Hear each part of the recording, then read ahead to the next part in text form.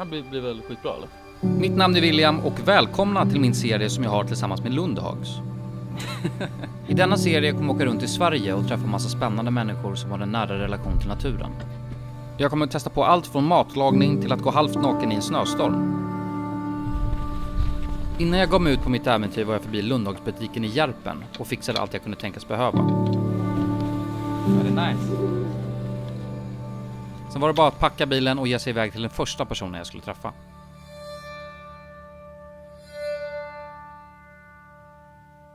Nu sitter jag här i bilen på väg till en kille som heter Marcus som tydligen har sovit utomhus i tre år. Ehm, jag vet inte exakt vad jag ska hitta på med Marcus utan jag tror han har byggt upp sina egna planer. Det jag vet däremot är att jag har en sovsäck så jag antar att det blir lite, eh, lite utomhusaktiviteter. Så att vi får se. Jag är väldigt spänd men också väldigt nervös. Eh, let's go.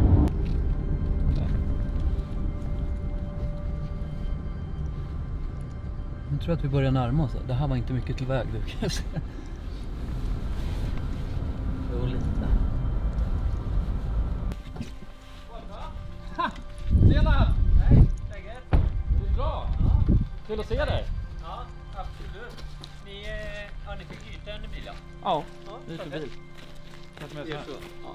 Har ni haft eh, Corona? Nej, inte ännu faktiskt. Nej, inte jag heller, tror jag. Men här, man märker ju inte, man träffar ju aldrig något folk. Nej, verkligen. Det ligger ute ingenstans. Ja, lite så. Det var kallare än vad jag trodde. Ja, men har du kläder eller? Eh, Det har jag. Ja, så jag riktiga dojor. Ja, Lundhags fyllde bilen. Nej, men jag heter Marcus. Jag är ju, jag är ju gammal gubbe nu, 44 år. Jag är född på västkusten. Men nu bor jag i Jämtland sedan över, ja, jag är ju gammal, eh, 23 år. Bor här ute i skogen, gammal ombyggd fäbodvall. Och så har jag fru och tre barn. Nej, men jag har ju, när jag var 20 år så flyttade jag ut i skogen och så byggde jag en liten kåta, alltså som ett tält, som ett indiantält.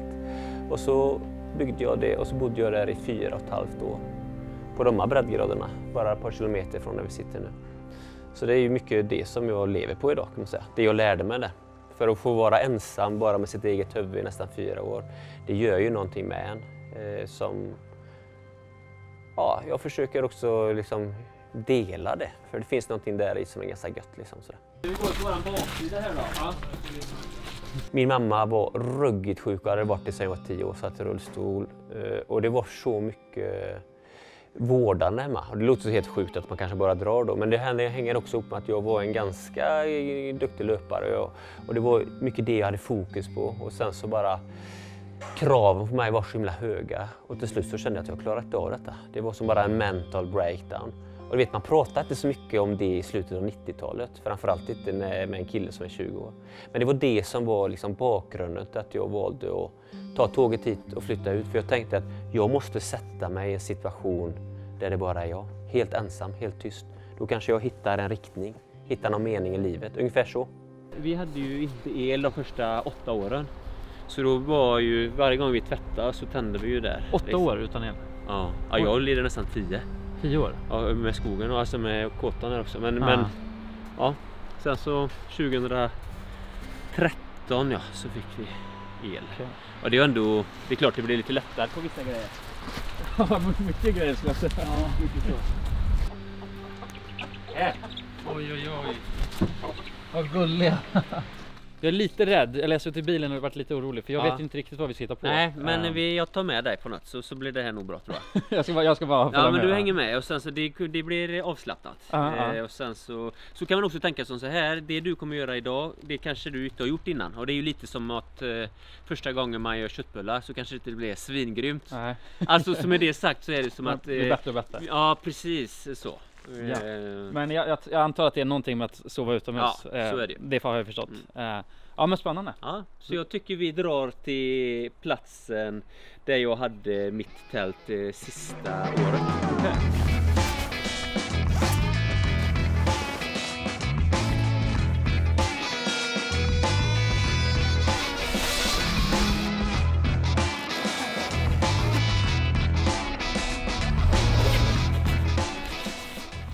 Kolla här! Nu är jag inte en 08 längre. Men redan det här blir jänta så kan jag säga. Så att nu kör vi. Du ser ju det.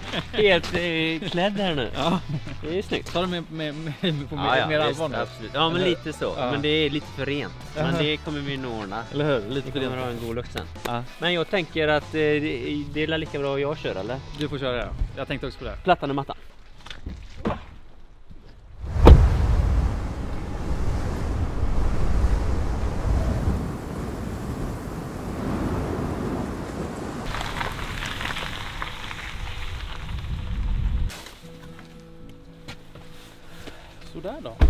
Ja men då, då ska vi bara sätta igång och vandra Gå in. dit. Ja. Eh, och som sagt jag vet ju fortfarande, jag vet ju inte ens hur länge vi kommer Ja, men det vandra. inte långt, det tar kanske 3-4 timmar att gå dit. Tre, fyra timmar? Ja, ungefär.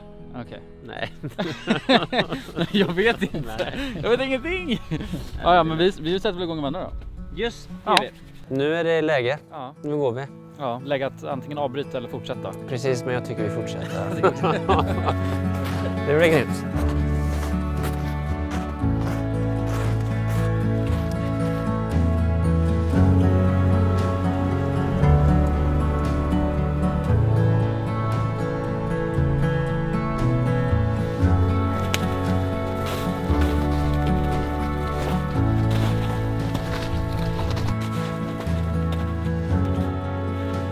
grymt. Det är två grejer som jag måste fundera på. Det ena, du ser ju här, nu ska vi ju göra en eld sen. Då när man ändå ser en björk så kan man ju ta lite av det här. Det är så himla bra att tända med. Okej. Det här är... Knöska. Ja, det säger bara pang. Ja. Och så det här är ju... Så jag brukar alltid fylla fickorna när jag är ute. Du har redan gjort det säger Ja men så, för det är, det är bara som vana. Jag fyller, jag gör efter bara. Så, så när, om man ska göra en eld så först detta. Och sen så hittar man, det är lika bra vi kör på med Ja. lite sånt där. Och sen så tar man det här längst in på en gran. Du, du hör ju hur torrt det här är. Ja du ser. Jag står kvar här. Ja. Nej, men så tar du kanske nästan som en ICA-påse med detta. Och det här är ju lite tjockare än eh, tändstickor kan man säga. Okej. Ja, och sen så börjar du med att tända det och så har du en ICA-kasse med detta, lägger på. Och sen så hittar du någonting som är lika tjockt som lillfingret. Ja. Ja, då får man leta runt lite. Och sen så tar du något som är som dina underarmar, samma tjocklek, också en ICA-kasse. Då har du en bra start på en eld. Och sen när du fått allt det till att ta sig, då kan du elda precis vad som helst. Man börjar med detta, på med lite sånt. Ja. Sen den tjockleken, Och sen... sen större. den tjockleken. Så är man hemma. Okej. Mm. Nu verkar vi ha kommit på, jag ser grejer här framme. Ja, Eh. Vadå, det var här du... Här har du bott? Ja, jag bodde under de här... Nu ser man ju, det här har jag inte sett, men nu har det ju ramlat ett stort... Det har, det har blåst mycket i vinter, så nu har det ju ramlat. Den här granen, apropå om man ska elda, Ja. hör här. Det här vet du. Okej. Perfekt ved. Nej, men så jag hade ju... Det var en bomullsduk som var ja, typ i det materialet. Ja. En blandning mellan det och det som jag spände runt där. Och så hade jag... Här var ingången. Nu har ju planen gått sönder här. Och sen så hade jag sängen här. Och så hade jag två, tre renskinn. Och sen hade jag veden här. Men vad häftigt. Okej, så att du... Att, du bodde här? Ja. På den här platsen? Du bodde, alltså, för du bodde Ja, en ett och ett halvt år ett och här. ett halvt år. Ja. Bodde du här? Här ja. Och så, Helt ensam? helt ensam. Men, då måste jag fråga, för, att, okej, tänk, att- för du var ute och vandrade då i skogen. Ja. Och sen på något sätt så måste du ha tänkt så här, ja nu kör vi, det här, Ja. det här stället. Visste du då hur länge Nej. du tänkte Nej, nej, du nej. tänkte inte så? Nej, men först, när jag flyttade ut första gången då kom jag ju dit i augusti och jag hade ju aldrig bott ute då. Jag visste ju inte så mycket. Men då tänkte jag att ett år ska jag i alla fall göra. Ja. Och sen så vart det fyra och ett halvt. Det var himla härligt. Och det var lite jobbigt, är klart, i början. Så var det ju. Omställning av att vara själv och det här att lära sig att frysa och hitta sätt att lösa de här problemen jag stod inför. För när du bor ute dygnet runt så blir ju alla grejer blöta till slut. Ja. Där du står nu så du kondenseras, man, man svettas jättelite och man märker inte det när man går inne för då tar du av dig kläderna så torkar det värmen. Men när du är ute dygnet runt så blir det jätteproblem till slut. Så det fick jag ju lägga mycket energi på, torka grejer och hitta sätt som funkade. Men hur torkar man sockar fortast? Ja, men då kom jag på att om jag har en sån här flaska som tål varmt vatten. Då tog jag kokande vatten i en plastflaska som tål kokande vatten och så drog jag sockan utanför flaskan. Då tog det en minut så var det ju helt torrt. Men och, och var, var du, jag tänker att om jag hade gett mig ut i alltså skogen och försökt på med en sån här grej. Då Ja. känns det garanterat som jag har dött.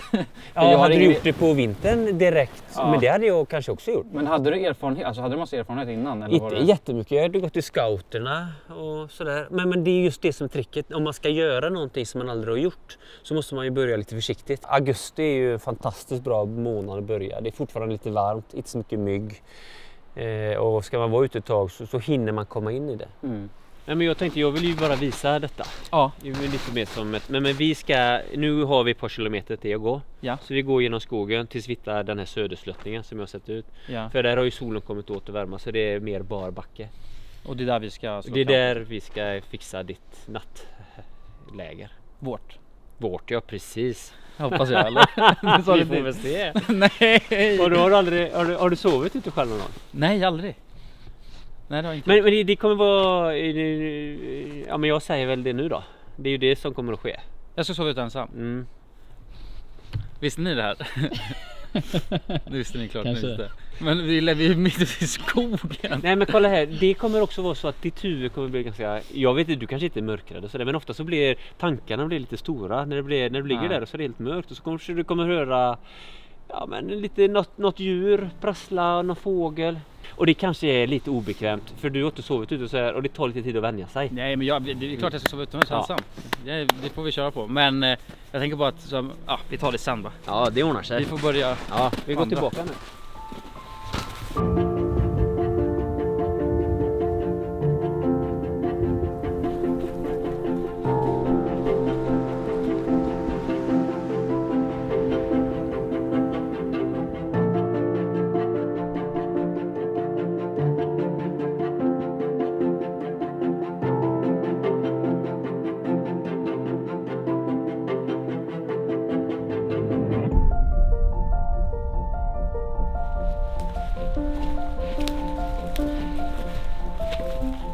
Tänkte jag. Ja, men jag tog med ett renskinn till dig. Ja, du är förberedd. Ja, men jag förberedde lite. Okej. Så jag har ett renskinn för det är ju bara optimalt att sova på. Är det här platsen? Ja, här emellan. Ja. Vi tar och, jag ska dra fram en yxa så tar vi, gör, eh, här gör vi en bädd av granris. Det får det bli din uppgift liksom. Okej. Bara, Jag ska lägga en liksom bädd ja, och så ju, ju tjockare desto bättre. Ja. Och så gör du därifrån hit liksom. Så att du känner att ja, men här kommer jag kunna ligga gött. Okej. Och så kan jag börja koncentrera mig på att göra taket kanske. Ja, Vad tror du om det? det låter jättebra. Men jag ska hålla på och hugga här alltså. Ja, Har du något att hugga med? Jag har faktiskt som värsta MacGyver bara. Nej, men jag brukar ha den där men det blev lite fel när jag hade den.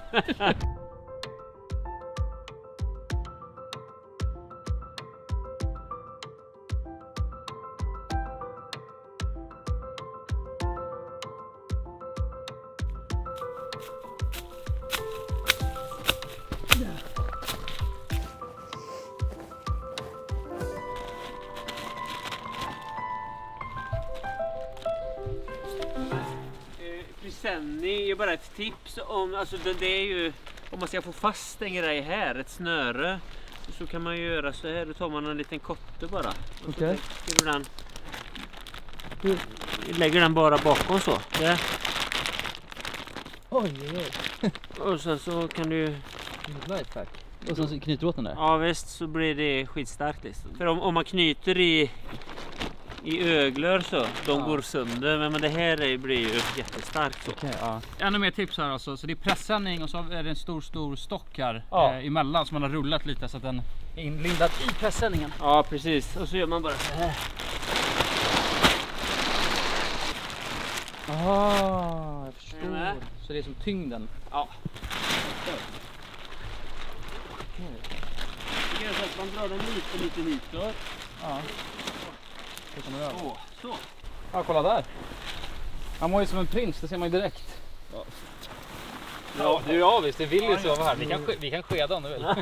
ja, kolla in här alltså. Oj, oj, oj. Oj, oj, oj. Ah. Det här är ju bättre än min säng hemma nästan. Och sen så lyssnar man. Helt tyst och sen lukten.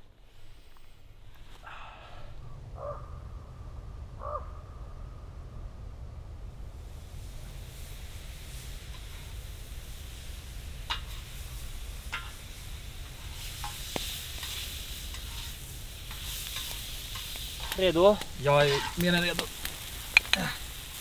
Där. Tackar, tackar. En... Det är som känsla. Att bara äta ut den här turen tycker jag. Och en brasa och grejer.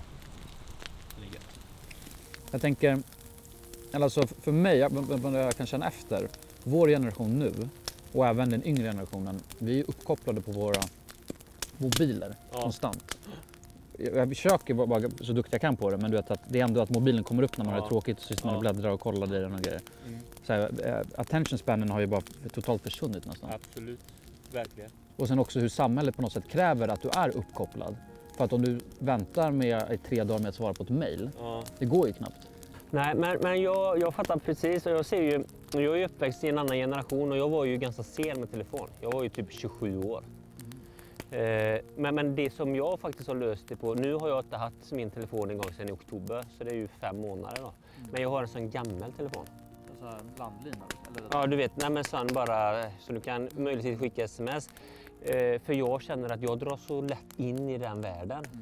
Och jag fatt, vi, jag, vi har inte hittat ett förhållningssätt till detta nu. Det enda jag egentligen saknar på det, det är ju bank-id. Det är ju svinbra att ha. Du har, du, nej, du har Nej, inte det? så, det, då får man ju gå till datan och det gick han brötigare. Men vi har valt att göra det. För, för det blir lätt annars att det blir för mycket i det där. Och då är det ju en värld som hela tiden är skapad på något sätt. Alltså man blir underhållen. Och jag tror att eh, i långa loppet, det kan ju vara skönt ibland, men i långa loppet så tror jag det, inte, det, det föder ingen kreativitet. Tror jag. Nej, men det, är så, det är så lätt att, eh, för det första uttråkad snabbt eh, och stress tror jag är något rejält. Ja. Känna sig stressad hela tiden för att du är hela tiden upp, du är, väldigt sällan här då. Från vänster blir det att du är väldigt sällan i, rakt i nuet. För du är alltid någon annanstans. Ja, och så kanske du också... Ja, men precis. Och känner att, men vad missar jag på något sätt? Ja. Ja, nej men det, så är det. ja. Marcus. Ja, nu har vi käkat. Ja. Legat här på timmar. ja. I Göte. Trött är man också. Mm. Nej, jag tror du kommer söva riktigt eh, gött. Ja, det tror jag också. Verkligen. Men, men så här då, jag pyser nu. nu. Det här kommer du tycka, det kommer, och så imorgon tänker jag, du bara går på GPSen. Ja, exakt. Det är lugnt. Ja. Och, och så det, tänk så här, det är lite skönt att känna sig lite rädd också.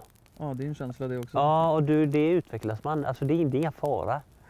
Det är så. Det är hjärnspöken, jag har haft många och, och det, det kan vara lite nyttigt ibland. Så jag Ja. lämnar dig med de orden. och så tänker du på den här filmen Blair Witch Project. tänker jag. nej! Ha med den i huvudet. Då ska jag ta kameran när man är där då. Nu blir det här väldigt äkta nu plötsligt. Här är de. Hej hej. Hjälp!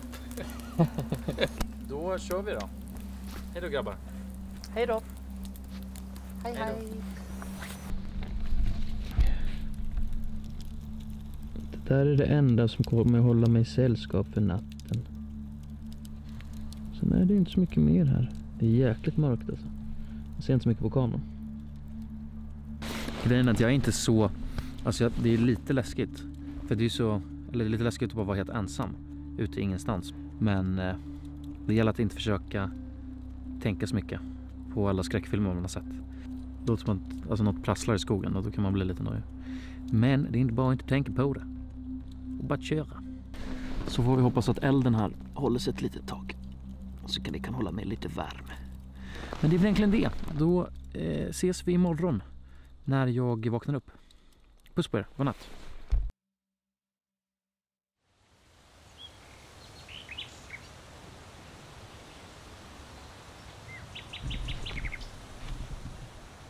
God morgon på er. De är söta. Små kaniner. Shit alltså. Vilken jävla afton. Nu är det morgon. Jag har ingen aning hur mycket klockan är. Men jag vet i alla fall att jag är rätt ny, nyvaken. Jag känner mig levande i alla fall kan jag säga. Det har varit kallt men men eh, men skönt. Väldigt friskt. De har testat på det här. I recommend måste jag säga. Se till att du bara inte vandra vilse. Nu ska jag bara följa GPSen hem, sen så ser jag att det är klart. Om jag ska summera hela upplevelsen då så för det första Marcus är en dud- dundergrabb. En, så, alltså en väldigt härlig och fantastisk människa. Eh, mycket klok. Och vi snackade väldigt, väldigt mycket. Eh, och fått ja, mycket input från honom. Jag tycker att han kommit med många sköna tankeställare på något sätt. Underbar kille och jag är extremt tacksam att han, att han hjälpte mig med det här. Eh, och så att han delade med sig av sin en liksom milliprocent av, av hans upplevelse. Tusen tack att ni har kollat och tusen tack till Lundhags som har gjort det här möjligt. Nu ska jag kliva ur den här sovsäcken och bege mig hemåt. Så puss på er!